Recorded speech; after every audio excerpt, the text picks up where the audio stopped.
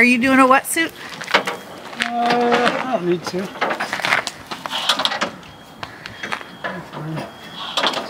I've never tipped once. Yep, so today's the day, huh? Today's the day.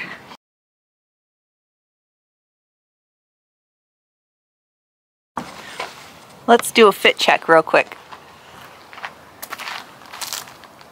I bought this new guy for 20 bucks. Hopefully this will help me attach my camera to my kayak and get better video quality. Okay, so where are we kayaking? Uh, I don't know. The, at the point I put on the map, What, what's it called? I don't know. Ooh, hawk.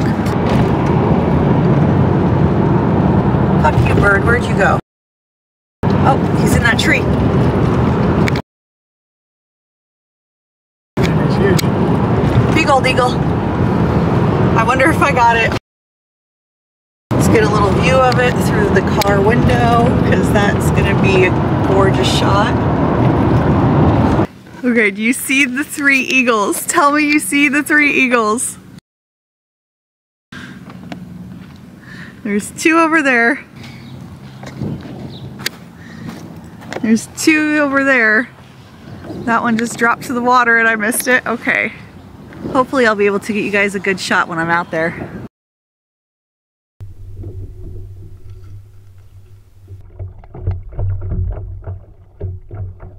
When we wake, hear the birds and see the sun. Side by side, our fears are done. All the good times just begun. Oh, we know what we have, let's hold on tight. Found what we're looking for in life. Call us crazy, but things are finally right. With you and I, the future is bright.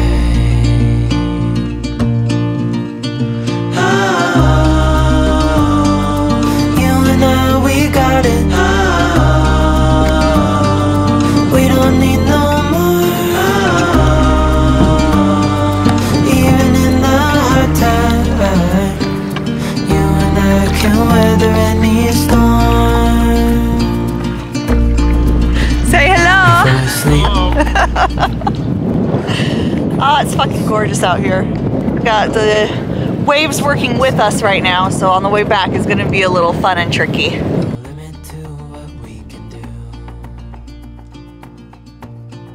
When kayaking, try and plan your trip going out against the waves because you don't realize how far you get when the waves are pushing you.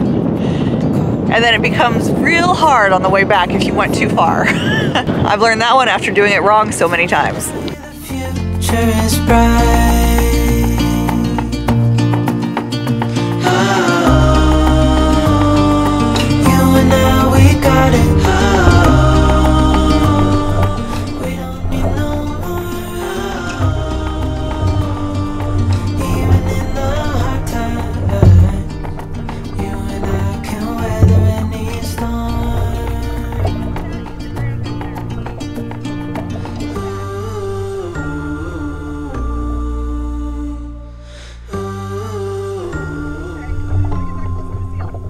Have to talk out my feelings right now. I don't know if you guys can see, I am shaking.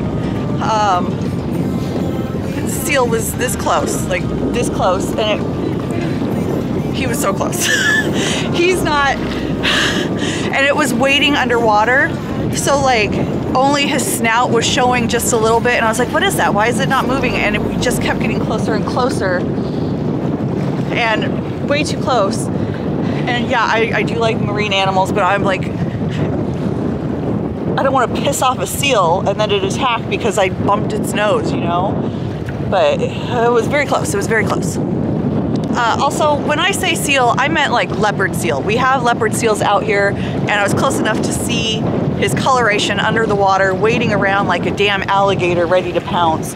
I don't fuck around with leopard seals. Those things, as long as you leave them alone, they're cool, but you know, if I bump him on the nose, he's not really being left alone. So yeah, it freaked me out a little bit. And now,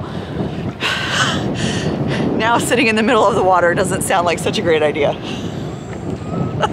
he was just too close. We're good though. We're good.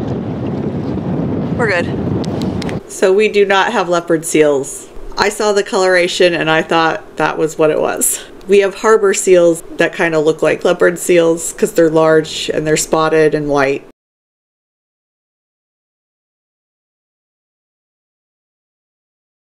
Very different though. I mean, to be fair, we do get Arctic marine animals, but no leopard seals.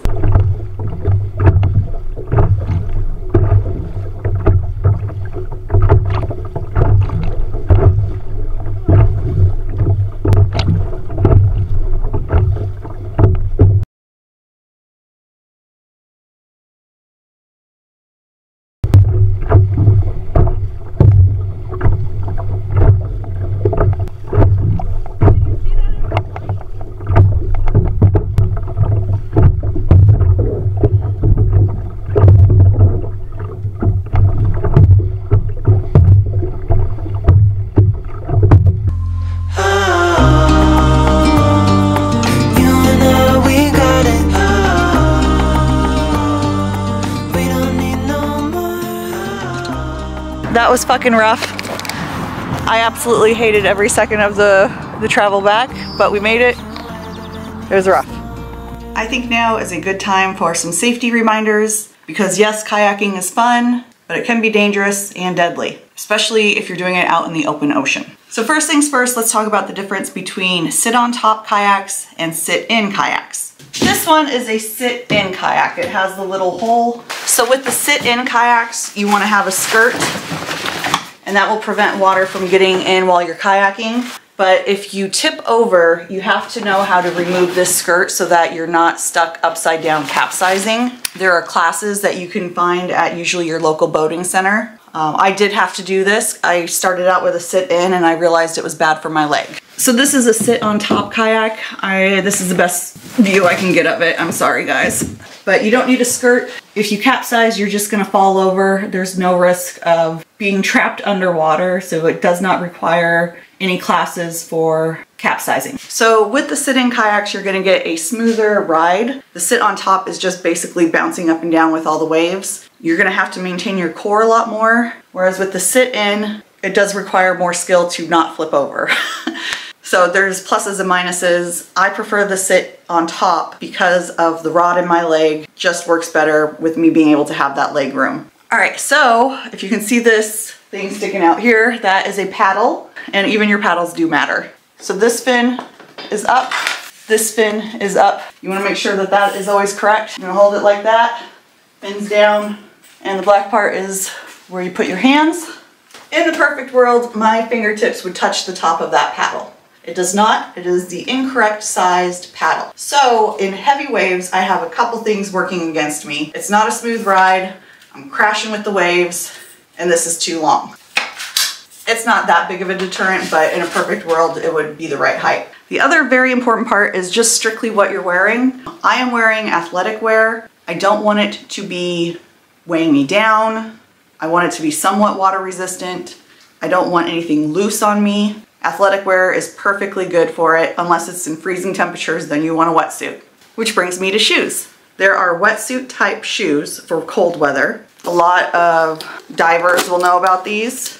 They're not very good for any rocky surfaces. This doesn't offer a lot of resistance on that, but it will keep your feet warm. These are my all-time favorite shoes to kayak in. They're just water shoes, they're rubber, they're hard, and I can slip them off really easy if I do capsize and I need to take off my shoes to help me swim. Just kick them off and then they will float to the water top because they're rubber and lightweight. And then I can just strap this onto my life jacket. So if I do get to somewhere where it's rocky and I need to walk, I have shoes. But yeah. Another important thing, water bags.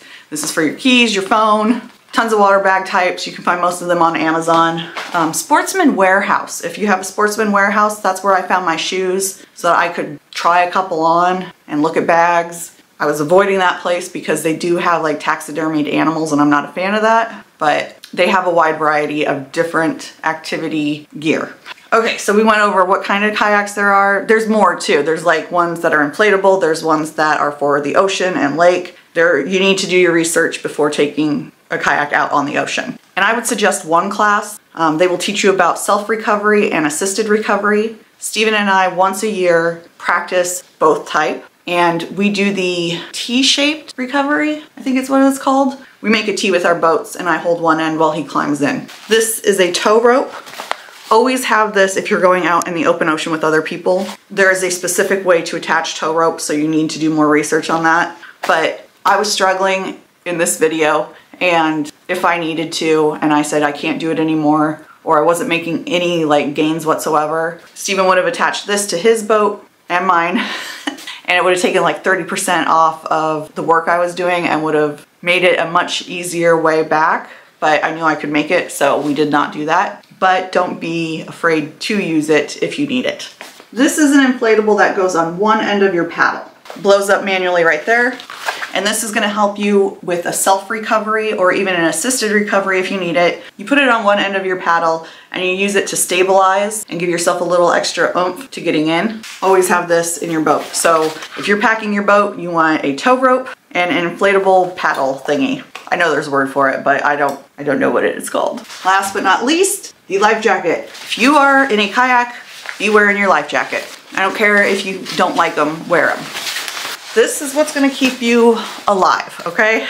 And there are so many people out there not wearing them and there are so many options for life jackets. There are skinny ones that are like this thin, which we will be getting when we're living on a boat so that we're not uncomfortable constantly. This right here is one of the main reasons why I wanted to lose weight because it is so uncomfortable with extra boobage. So you wanna make sure these are tight. So you're gonna let them out. There we go. All right, this guy has a lot of straps. Okay, I wanna make sure I'm grabbing the right straps. This guy has a lot of straps to help with the fact that I have a large chest so it can tighten in multiple places, but it is a little tricky to find out where it is. Okay, you wanna take both ends, tighten at the same time, and just work your way up. Tighten, tighten. This right here, most important part. You wanna make sure that there's not too much giveaway because if you're getting pulled up by the top of your life vest and you slip out, guess what? Not very helpful. So there's a lot of things to check. Did Stephen and I do the wrong thing by paddling out too far and not paying attention to how big the waves were getting and how far away the shore was getting? Yeah. Do as I say, not as I do.